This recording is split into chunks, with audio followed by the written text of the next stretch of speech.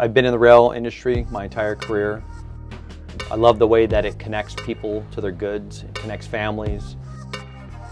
The excitement that you get while you're on a locomotive, uh, when you're in throttle notch 8, it's just it's something that you, you know, propels you to a new excitement and energy.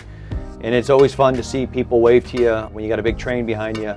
It's just, it's something that you can't describe.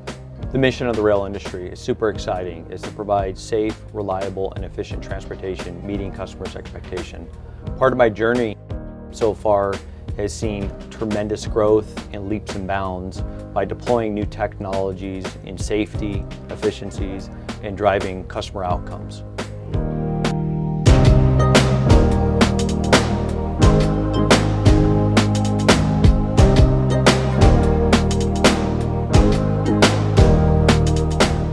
As I started my rail career, everything was focused on clipboards, paper, switch lists, printing documents, all kinds of things that had massive inefficiencies, calling dispatchers to get train orders, where now these things can be automated. There's a lot of problems still from the analog that we can solve with new means as digitalization that can drive better outcomes for all of our customers. The three main problems we've seen in my career here at the railroad, starting from the ground, working my way all the way up to a general manager, have been excess idle, fuel theft, and remote connectivity that enhances visibility to make real-time decisions. In the analog age, we solve those problems by throwing a massive amount of resources at it, having our team members, you know, managers drive to those locomotives to collect that particular data. That created massive amounts of inefficiencies and waste, not focusing on the true outcomes that we're looking to drive, safety, reliability, and meeting customers' expectations. So we've talked a lot about the past. Now let's talk about the future and the exciting advancements that are leading the rail industry today so we can be all successful together.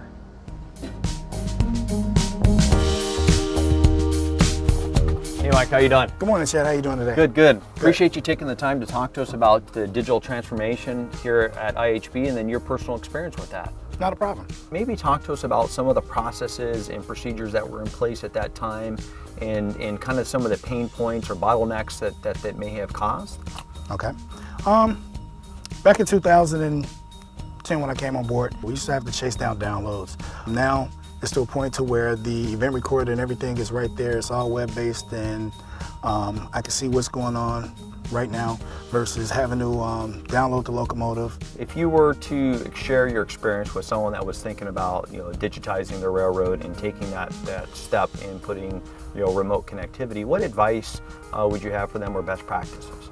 Well, the question I always get is um, uh, mainly about the um, inward-facing camera, how crews are reacting to the inward-facing camera. People thought that was going to be a hiccup um, in the beginning, but um, the more installs that we get, the more um, adapted our crews are. I mean, they go on about their business just like the camera wasn't there. It's been a useful tool for both sides.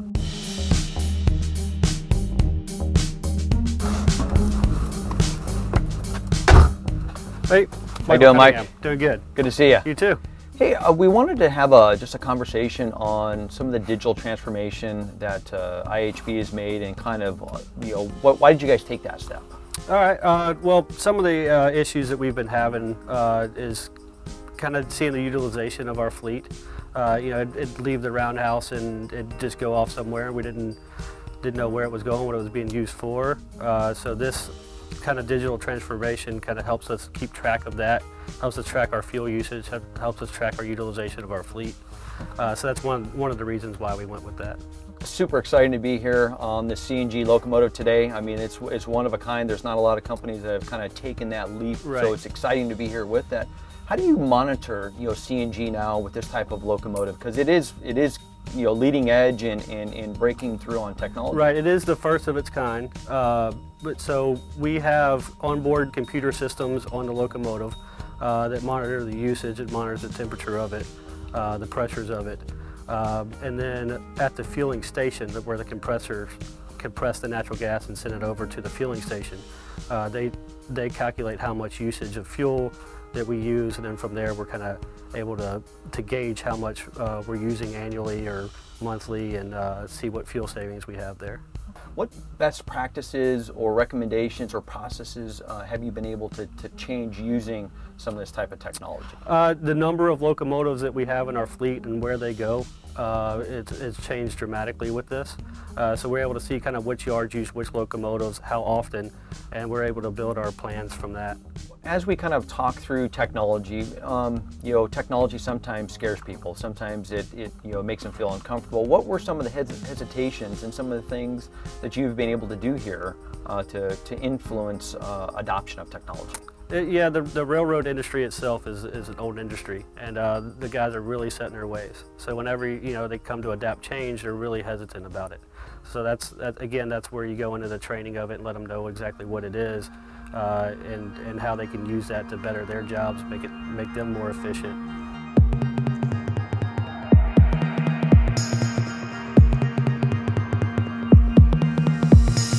Hey Chad, you've been a railroader all your life. You started off as an engineer and work your way up to become a general manager. Just in your experience, what are the different problems you've seen on railroad and then how do you see technology solving them? Yeah, so um, excess idle, um, we've talked about that a lot. You know, how do we empower um, good decisions and informed decisions? Fuel theft, you know, how do we alert in real time and, and look at the whole supply chain of fuel from the time it's, it's delivered to the locomotive to the time it's spent? And then remote connectivity. Um, you know how it can bring new insights and visibility, and how technology in these particular segments uh, can really drive new outcomes, drive excellence uh, in operations. So a lot of people say real time, but they really mean based on every hour the information comes across. That, that's not really real time, or, or I get some files at the end of the day. That's not really real time. Like like what is real time? What does that look like? Yeah, and as, as a product manager, I see people say real time, and they really mean once a day right? In, in our case, we're talking second by second data, right? We have capability that we can stream second by second uh, event record data, video data.